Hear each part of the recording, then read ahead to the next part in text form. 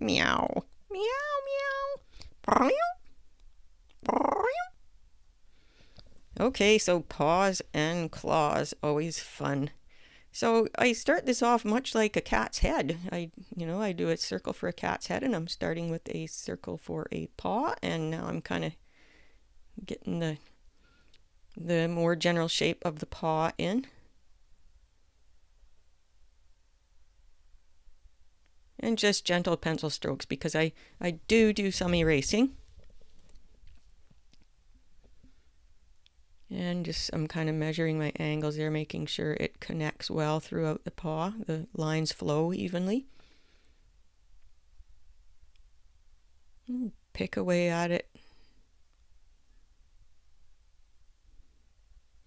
And notice I, I put new lines in bef before I erase the old ones because I use my the first lines as a guiding line as to where things need to go.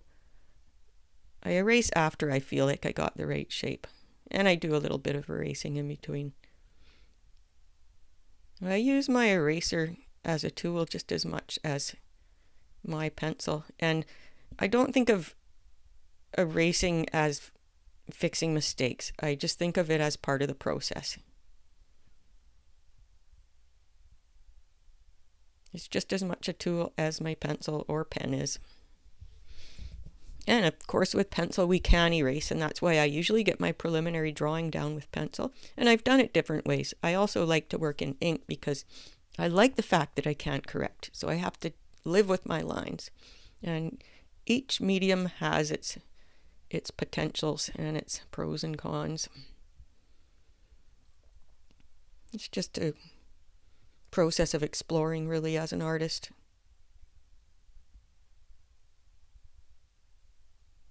Again, I'm measuring my, you know, to make sure the tops of those, where the toes connect, flows nice.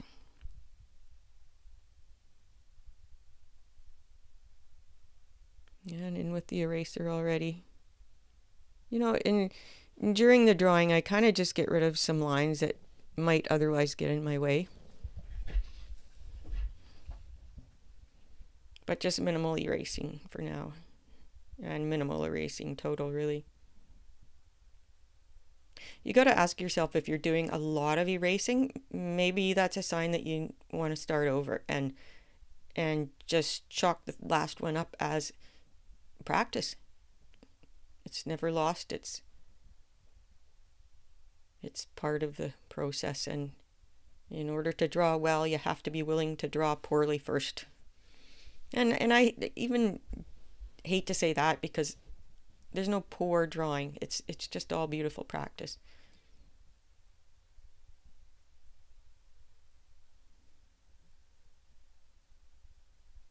And this is a kneaded eraser I'm using.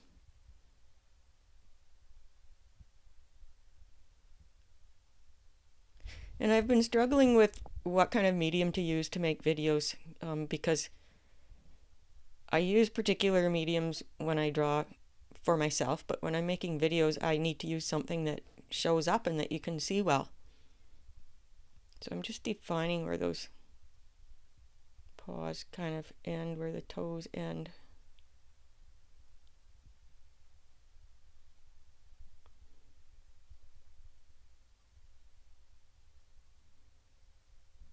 Anyhow about the videos. I'm learning a lot about making videos and it's a separate art all in itself. So if you have any suggestions please put them in the comments. And also if there's anything you want to learn about drawing cats please let me know. And i just like to know who you are and what part of the world you're from and what your cat's name is. And i don't know if there's a spot to put photos in the comments but if there is i'd love to see your cat pictures your drawings and also just your cats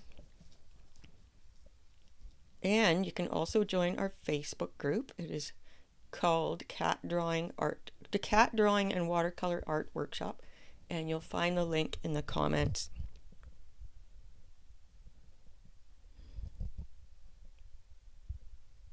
And you'll find other links there too. Other helpful links. You can sign up for our email list. Check out my Etsy shop and also join my just my cat group or my cat page on on Facebook. You can like that and it's a fun page.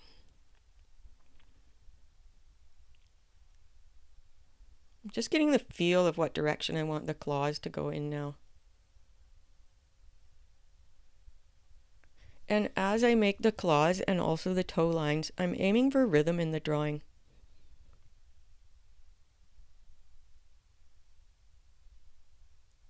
Going beyond realism, adding some rhythm, some fun, making it art instead of just a copy.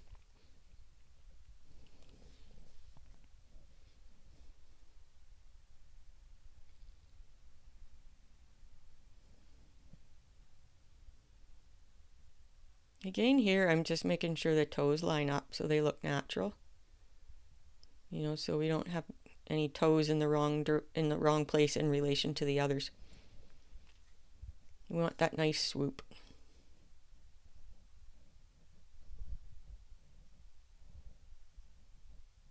Here comes my eraser again.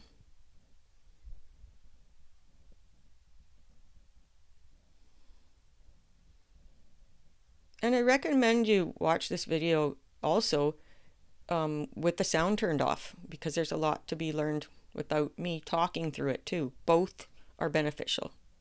Listening to the narration and also just watching.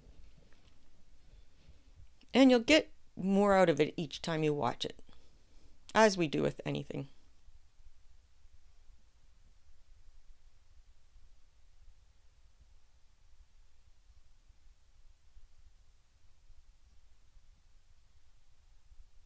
Again, getting the feel of that claw. You know, you'll see me erase my claws a few times, and don't ever feel bad about erasing because it's just part of the process, it's part of the learning. If it wasn't working, then get out your eraser.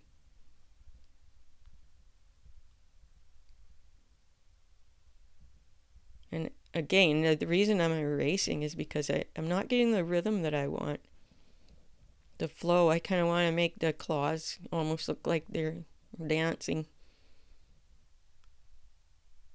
Because the drawing's got to be interesting instead of just a copy.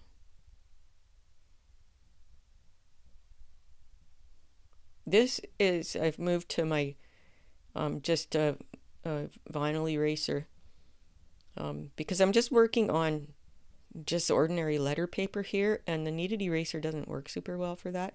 And I'm learning that just using letter paper isn't really working well for my videos either. I'm finding I get too much shine on the pencil lines. So I need to go back to my good sketchbook paper for all my videos. I'm feeling like I'm getting a bit of rhythm and dance there in those claws now. A little bit. I seem to remember I you'll see me erase again. Erase the claws. It's a process, one step at a time. And those pads, the toe beans, they're so fun and getting them right and getting the right rhythm and flow and just getting them to look charming. Um, that's a big aim of mine, and, and that's why if I put one down and erase it again, I just haven't got it the way I really want it.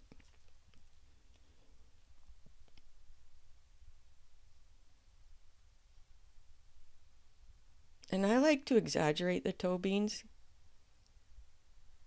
and a little bit of fluff, you know, to give the hint of the hair coming around the toe beans. If you've never heard them called toe beans before, it's a kitty's little paw pads.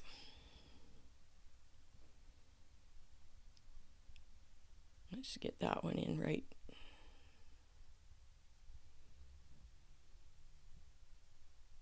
And the deep burning question is what is right? Right for you is what's right.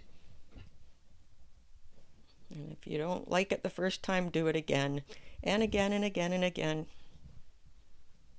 And with each sketch, you are gaining skills and you are becoming a more experienced artist with a repertoire of skills. Repertoire. I never pronounced that word right.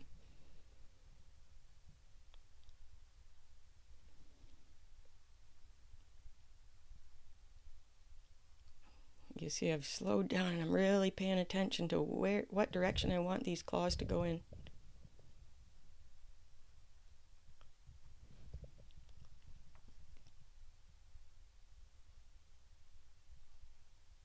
Kind of doing a lot of contemplating here of, of what rhythm, how I want the rhythm to be.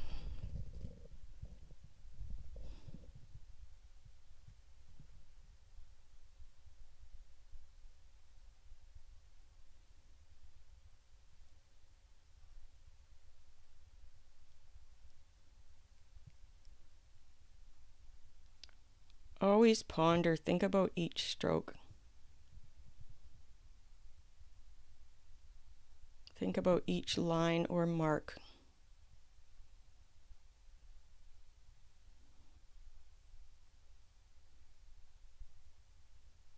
See, what I've found here with the letter paper is that um, I, it's hard to really erase without leaving a bit of a mess. And I can do better on good quality sketchbook paper.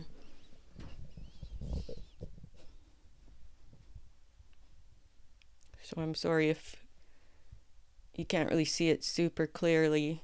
I know once I got a few pencil lines on there, they started to get a little bit shiny because of the type of paper I was using.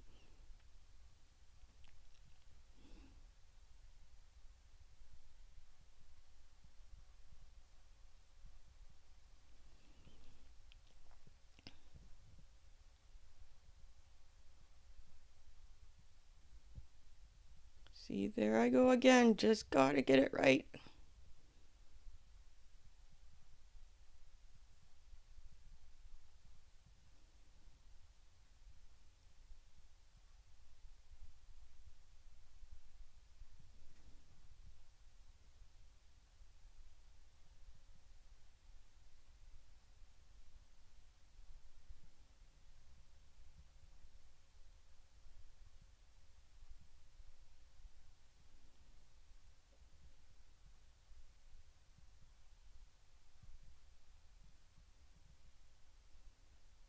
Those pads and as I said before I really like to kind of exaggerate the toe beans because they're just so charming. I'm starting to really like what it's looking like now.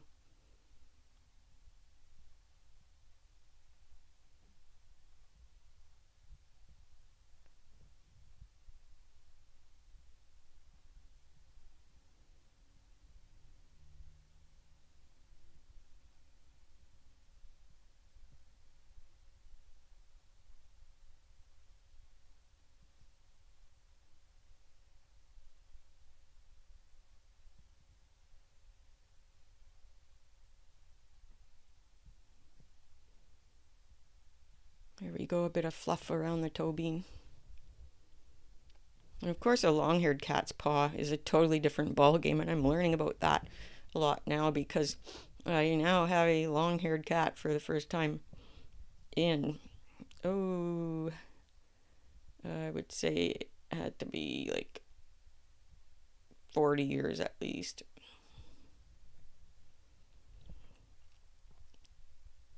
Probably 45.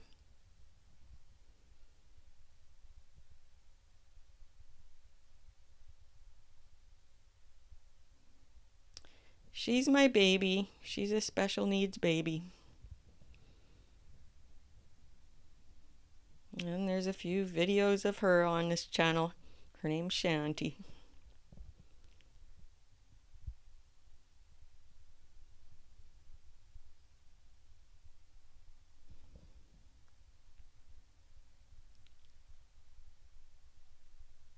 As you can see, I thought of editing out a lot of my erasing and stuff and um, you know just getting from the start to the finish. But then i thought i want you to see how messy the process can be sometimes. And that's where the real learning happens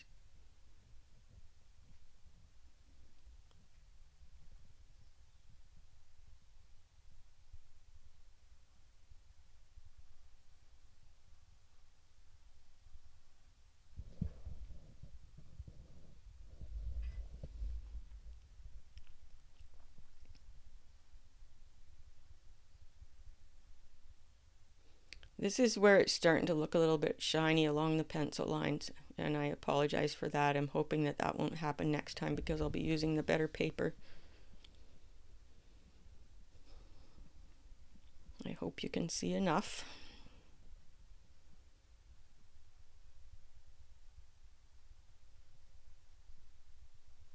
Really working on improving my videos and I, I'm open to any suggestions. I love it when people suggest and and tell me what it is they want to learn. Or even where in the world you are. It's really cool to hear about where you are. I'm in Canada here on Vancouver Island.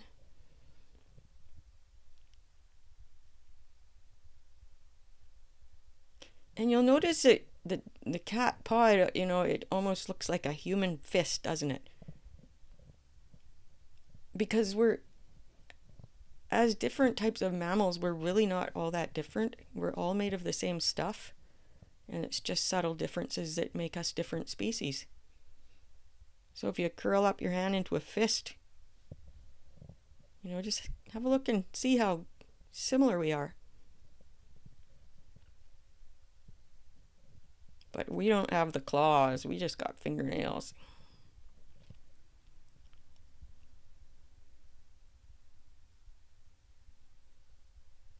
That's all we're doing right now, so there are my supplies.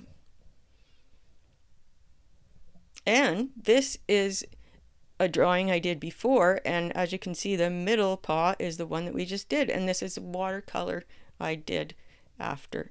And this is my Rosie. She's gone now.